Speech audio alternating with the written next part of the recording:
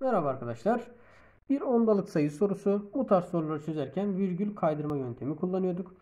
İlkinde 2 bölü 0.25 virgülden sonra 2 basamak var. Şöyle virgülü çekip 2 tane sıfır koyduğum zaman virgülden sonraki basamaklar eşitlendi. 200 bölü 25. Daha sonra virgülleri kaldırıyoruz.